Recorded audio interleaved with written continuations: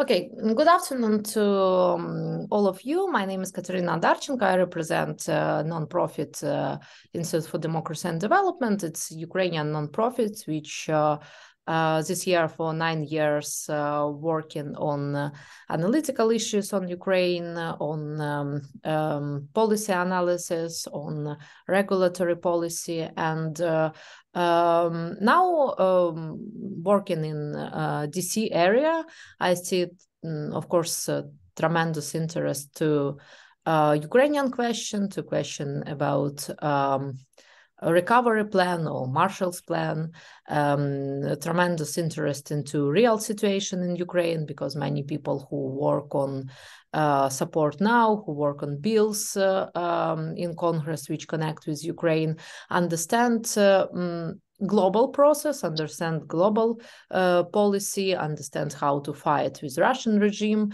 but um, some people not really deeply involved to details inside Ukraine, inside Ukrainian economy policy, inside understanding of Ukrainian budget process, inside understanding of uh, um, transport strategy, energy strategy, and so on and so forth. So that's why we uh, create quite um, direct idea. It's idea of uh, seminars, conferences with uh, best Ukrainian professionals um, and best Ukrainian economists about current situation, about uh, recovery plan, and uh, build uh, um, this platform for cooperation between American professionals, um, so people from think tanks, um, analytical workers, consulting companies who um, will work on Ukrainian issues, uh, decision-making persons as members of uh, um, House, members of Congress, their staffers, and of course, um, government representatives who work on Ukrainian issue, such as people in um, Department of States, in uh, Department of Defense, in uh, U.S. Treasury, and so on and so forth. Um, so uh, the first uh, our discussion is a discussion um, about um, Ukrainian recovery and economy growth, and uh, uh, we um, invite to this discussion people who now work on um, this issue and uh, work uh, for several months with um, uh, their teams. So uh, it's uh, Vladimir Landa, Forbes company deputy editor-in-chief. Um, so he worked on calculating um, and data uh, from Forbes um, in Ukraine. Also, he was advisor of Minister um, of Economy of Ukraine, head of research in uh, UFC Capital. Uh, it's the biggest like investment company, and uh, um, he uh, in university studies economical cybernetics in Kiev um, um, National Economic University. Also, today with us was uh, Andrei Dligach, uh, one of the most famous entrepreneurs, and uh, he um, now represents international agency um, uh, lunar uh, troubleshooting and central um, in Central and Eastern Europe. Also head of Gosh Strategy Center, founder of iVentures Holding uh, of Internet projects. Um, also, um, he uh, worked as business strategist in Ukraine, founder of civil platform uh, Nova Kraina, um, co-founder of Free Green Movement, uh, Health Nation, working with National um, Health uh, committee and working in this sector more than 20 years. Uh, Galina Halo, Vice President of Association of Ukrainian Banks, uh, which one of the biggest community of bankers, founder of Financial and Analytical Center Transformation, financial expert banker. And um, she is also not only a banker, but also mother and um, famous woman, woman leader in uh, uh, in Ukraine. Um, so uh, Pavlo Kutuyev, he will join us. Uh, he's professor of sociology and chair of sociology department of Igor, Igor Sikorsky uh, Kiev Polytechnic Institute. Uh, so he famous sociologist, political scholar, and international researcher. Um, so you can see his work also on English as well um, in internet. Um, also, uh, we waiting on this discussion Viktor Andrusiev. Uh, he's Ukrainian political and civil activist, director of Kiev School of Public Administration, former executive director of Ukrainian Institute for Future since 2016, and Viktor is known in civil political mm, activity. So he um, wrote a lot for Ukrainska Pravda, for um, and uh, uh, you can see his analytical work also on Institute for Future website. Anatoly Yarovy, attorney in law, so he's senior partner of Interpol law firm. Uh, also, uh, he worked with uh, Vasil Kisil and partners and studies uh, Kiev School uh, of Public Administration. So he also worked on Ukrainian recovery plans and lawsuits against Russia. Um, Pavel Sebastianovich, entrepreneur, public figure. Um, he, Pavel is a common sense studio resident.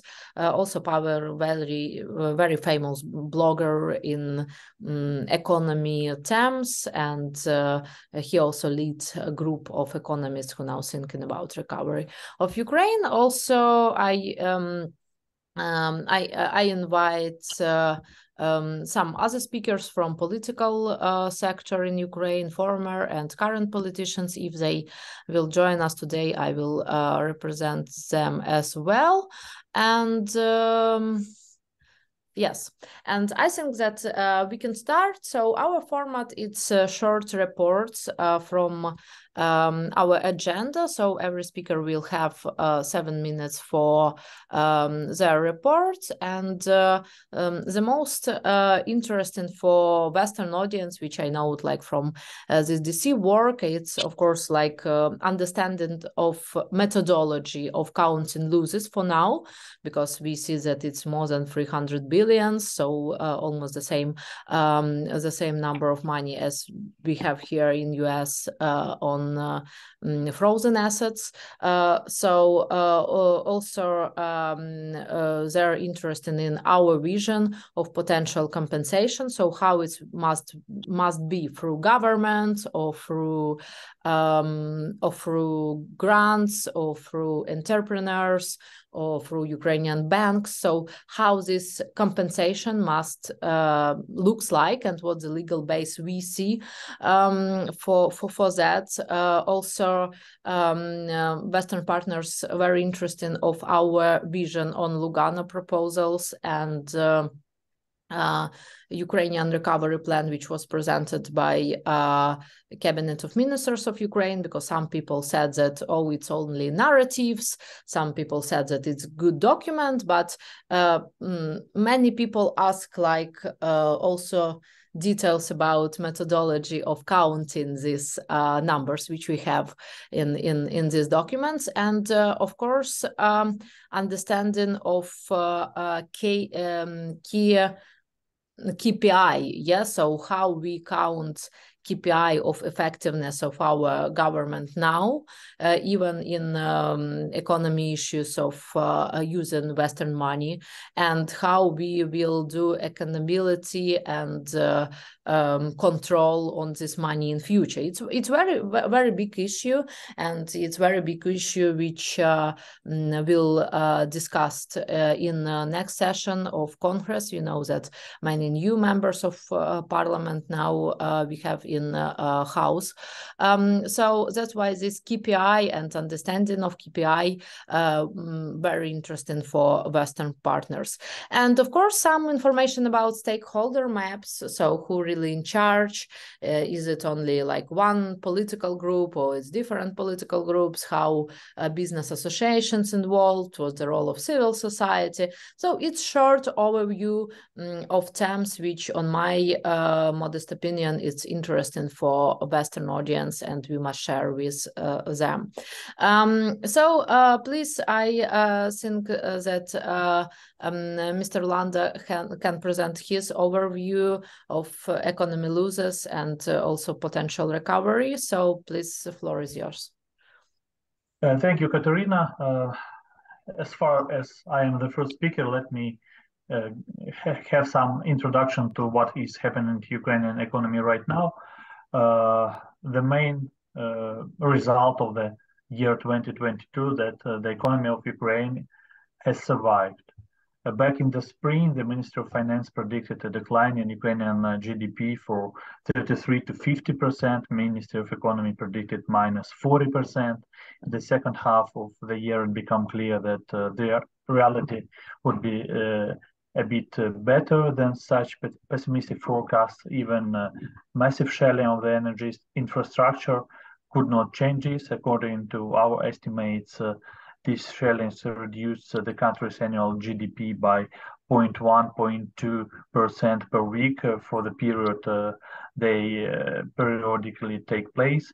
Despite this, the current estimate of the fall of, in GDP for 2022 is 30.4%, uh, much uh, higher than most forecasts. March 32 in previous years seems to have been the worst day for the economy if it uh, were possible to track GDP on a daily basis, uh, it uh, was the day of the maximum advance of Russian troops and into the territory of Ukraine. direct losses of to infrastructure facilities amount to uh, 138 billion according to Kiev School of Economics. That's uh, I let me emphasize only direct uh, losses that's not even a half of total losses uh, for country and business. Uh, government, uh, government talks about 500 to 600 billion in total losses, but this figure may be overestimated since some uh, cases uh, double counters, uh, double counting, for example, business losses and government spending to compensate these losses. However, in any case, we can uh, say that total amount of damage from Russia Russia is hundreds of billions of dollars. As you say, it, uh, probably 300 billion. And we understand that uh, this amount is uh, growing every day, especially during the days of uh, massive rocket attacks. So how will the recovery go? There are many platforms where preliminary consultations of, on this issue take place at the same time, we understand that until the end of the war, until the end of the war, uh, at least uh, the uh, hot phase of this war, the, they will not uh, give final ready-made recipe or final algorithm of actions. Uh, however, uh, the role of such, such summits, uh, which uh, take place in Lugano, Davos, uh, Luxembourg, and other cities, is important for establishing links between participants uh, and shareholders of recovery process and governmental and civil society in Ukraine and partner countries. Uh, I also know that uh, this week, uh, U.S. International Development Finance Corporation is operating in Ukraine. This is an effective mechanism for attracting private American capital to uh, Ukrainian economy. We can uh, talk about uh, Russian compensations after the war, but Ukrainian business requires capital and other types of help to, today. So this mechanism would uh, provide uh, Ukrainian business with such kind of um, capital. There's uh, a number of instruments in the toolbox, like cheaper loans, like insurance of military and credit risks, and uh, these types are very appropriate for the current uh, period when we are talking about uh, how um, Ukrainian economy can be helped already now before waiting at the end of the war. Mm, uh, uh, in uh, and uh, last thing I want to say in uh, the first word, uh, on the West, it is popular popular thing that corruption is very popular in, in Ukraine. However, currently we have some different situation. Uh, this year, uh, new index of corruption perception uh, is uh, published, and uh, Ukraine have uh, the best number for the all years. This number is calculated. We have most active week, most active anti-corruption week uh, for all the time I could can remember. We have a lot of actions made just for last few days and uh, it is announced that that's a very beginning uh, of uh, the corruption fight in Ukraine. So. Mm, uh, really perception of corruption in Ukraine is uh, changed uh, significantly since the full-scale invasion of Russia began because uh, it became absolutely unacceptable in Ukrainian society, uh, which is uh, not the same which it was even a year ago.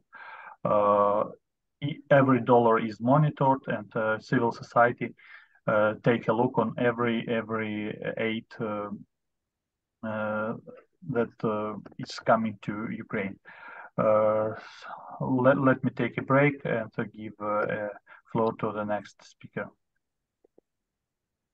Yes, thank you so much. I also showed to our partners this website of uh, Kiev School of Economics, where so Vladimir mentioned the um, counting of losers. As I know, uh, also Western partners support uh, this project uh, for counting these losers. But um, when I explore it, am I understand right that it's like uh, loses how people declare it. So it's with, loses without audit. Um, so it's like first data. Um, can you explain, please, a little bit about methodology of this counting? Uh, as I understand KSE methodology, mm -hmm. they count only, uh, as you say, fixed and uh, uh direct losses. That uh, doesn't count uh, how much company loses in logistics, how they uh, uh, invest in uh, relocating their employers. That all that's all what is not counting in this figure. This is not the latest one which which are sh shown right now. As I as I um, remember, the latest figure is 138 billion of direct losses. Yes, yes, uh, thank you. So uh, you also can go to this website and see uh, like uh, methodology of this counting. They have PDF, so um, you can easily uh, also see by uh, industries this loses.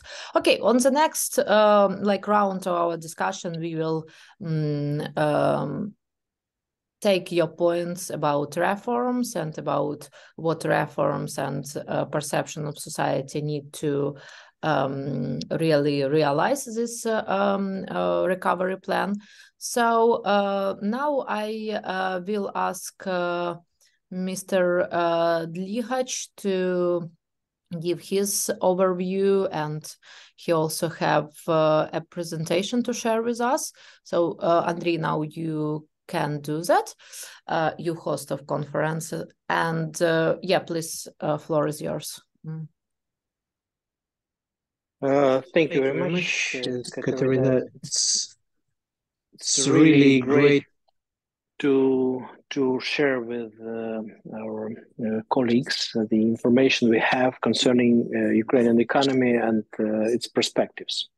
First of all, I'd like to mention that um, I'm an ideologist and coordinator of development of Ukrainian national economic strategy, uh, which was um, made and uh, even approved uh, before this um, full-scale invasion. Um, from uh, another point of view, I'm representing coalition of Ukrainian business communities. More than 95 organizations are jointly established this community in order to elaborate economic strategy uh, together with uh, uh, Ministry of Economy and other government authorities. So we are monitoring the situation in the Ukrainian economy and Ukrainian business. Uh, every month, we prepare the special reports uh, on Ukrainian business and every quarter on Ukrainian economy. Now we see that uh, Ukrainian business uh, lost more than 60 billion dollar directly and indirect way. Uh, almost third part of Ukrainian enterprises are stopped or almost stopped their activity. We have 64% of turnovers uh, in small and medium enterprises uh, compared to previous year. Uh, so Ukrainian business uh, faced a lot of problems, not only uh, problems connected with uh, with the invasion, but also with their, our government authorities and their behavior, their strategy during this war.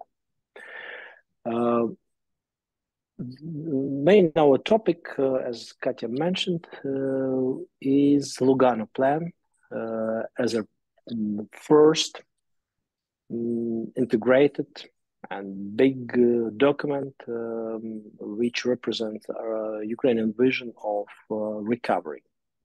But the main problem of this plan is that despite of uh, more than 3,000 of experts uh, took part in pre preparation developing of this plan, but uh, we worked without common vision, without enough analytics, in not in not integrated way, and this plan rather portfolio of projects nor um, plan with policies, state policies. So we started uh, another uh, process now in order to, again, jointly with uh, government authorities, cabinet of ministers, and uh, civil experts to develop uh, the plan of Ukrainian modernization. In May 2022, in the conference in London, Economic uh, Forum, uh, where uh, Ukraine was represented by a Minister of Economy, with other government authorities, with civil society and Ukrainian business, and uh, we uh, we made special agreements with uh, our international partners from different international institutions.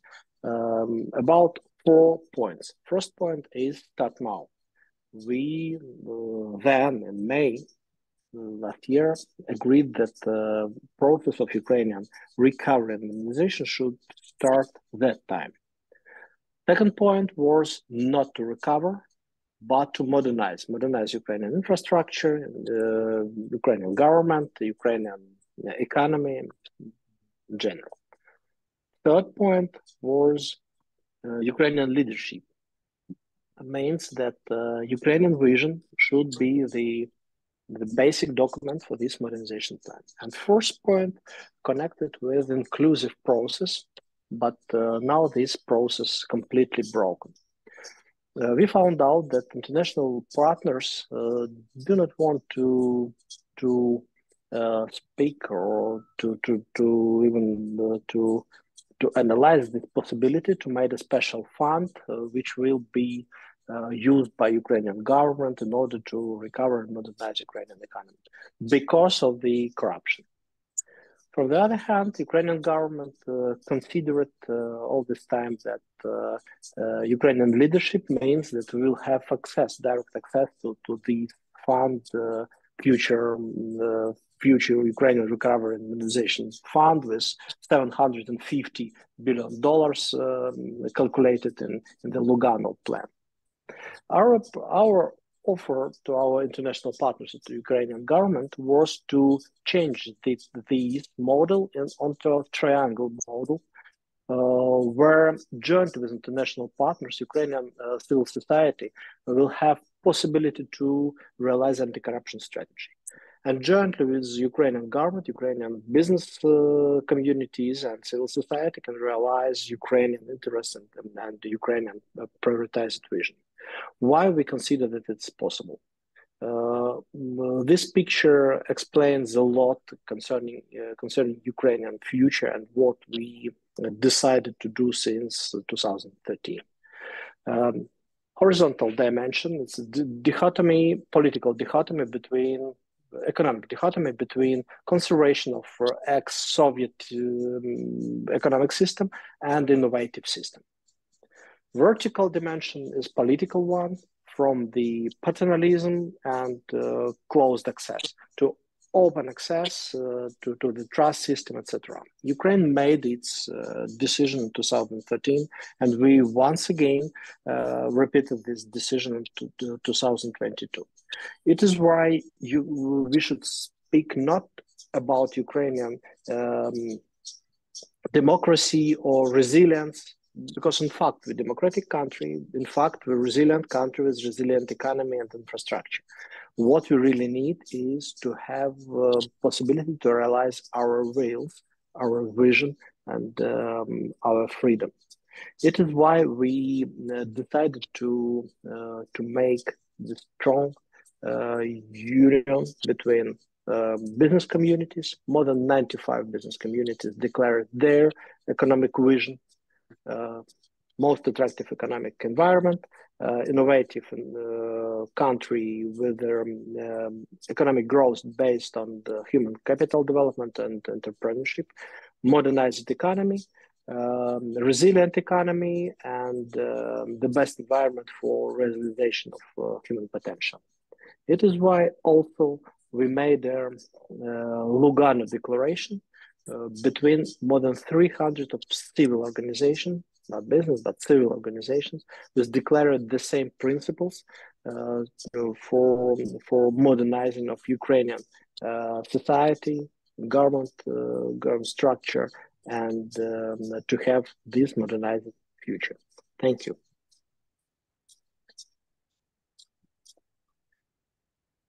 Yeah, can uh, can I ask you, Andriy, uh, one question that um, sure.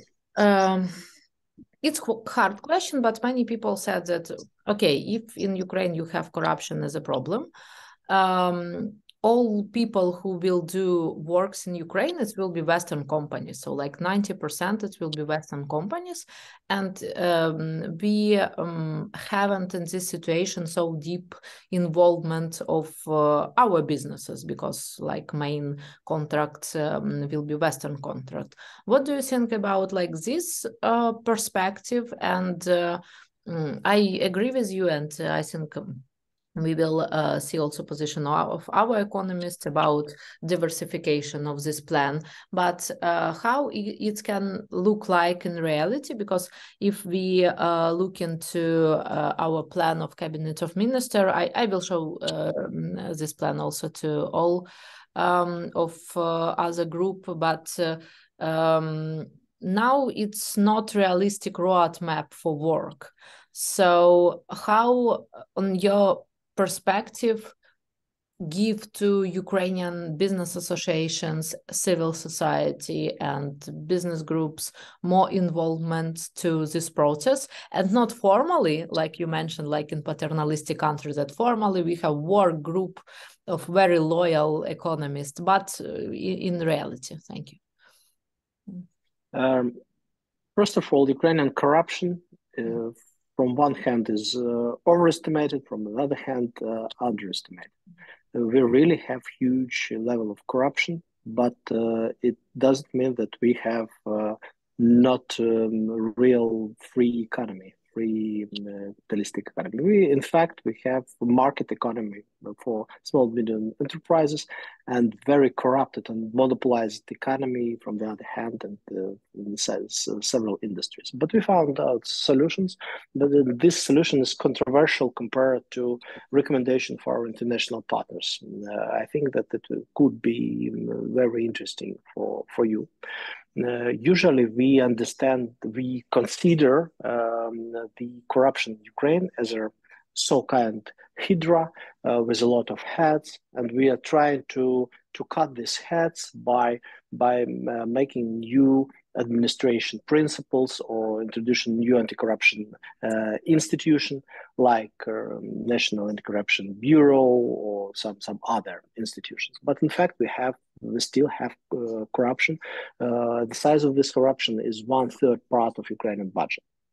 Uh, why? Because this hydra cannot be uh, cannot be solved by head cutting. Uh, it have new new heads instead. So we need to completely change the idea of Ukrainian economy. Uh, this corruption, corrupted economy should be completely uh, rebuilt. We found out five, five uh, sources of Ukrainian corruption: state enterprises, uh, public purchases, regulation system, taxation system, and custom. And we uh, we proposed and uh, elaborated and even agree with um, progressive part of Ukrainian government uh, these ideas of Ukrainian reforms. Uh, the first reform should be anti-corruption uh, tax reform. Uh, it's presented, and we need strongly we need support of our international partner uh, in promotion of these uh, anti-corruption taxation uh, reform, taxation system reform. what we need, we just need understanding from their position that um, decreasing of Ukraine of um, of um, tax rates in Ukraine is not uh, meaning uh, the only uh, to decrease the um, overloading of Ukrainian business. But this way is to make corruption in taxation system uh, senseless. Uh, we made a lot of models concerning this and see that uh, this pro proposal will uh, will increase the Ukrainian budget. Second position is custom. Uh, it's a it's a very corrupted system, but but we need to make it absolutely electronic and absolutely clear. Uh, the next point: privatization. We cannot uh, improve um, co corporate management uh, principles in Ukraine because we have high levels of standards, but still we have corruption there. The only way on the current uh, um, stage of Ukrainian development is privatization. The same with regulation. Deregulation is our way. And the, the last uh, point is um, uh, what to do with uh, public purchases.